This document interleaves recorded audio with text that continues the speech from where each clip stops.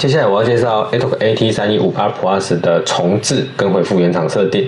它重置有两个模式，一个就是半洗，就是保留记忆模式；一个是全洗，就是全部恢复原厂设定。可以看到呢，现在我有我还在记忆模式里面。好，那可是呢？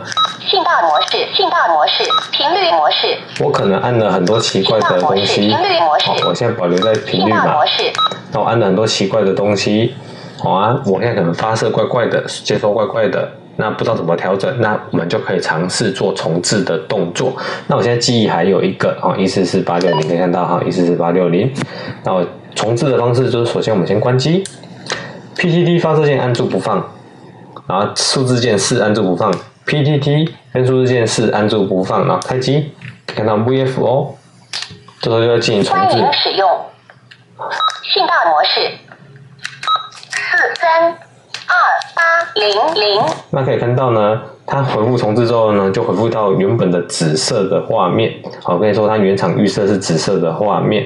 好，那重置就把我们一些设定都恢复。那可是呢，你看到记忆的部分还在，好，记忆的部分还保留，那其他声音就恢复原厂设定了。好，这就是我们一般的半洗。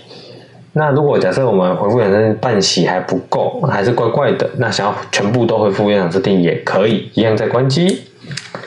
PTT 发射键哈，PTT 发射键按住不放，数字键七按住不放，好开机，然后写 four，之后它就进行重置。